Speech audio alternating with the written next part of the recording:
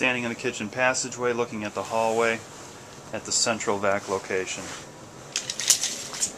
The central vac location is 31 inches to that electrical box right there. In that same cavity with the electrical box is the four junction boxes for all of the light switches that are going to be on Lutron. The keypad for the security system. I'm standing in the mudroom right now. Wires come up. There's the keypad location, which is 58 and a half inches up from the floor.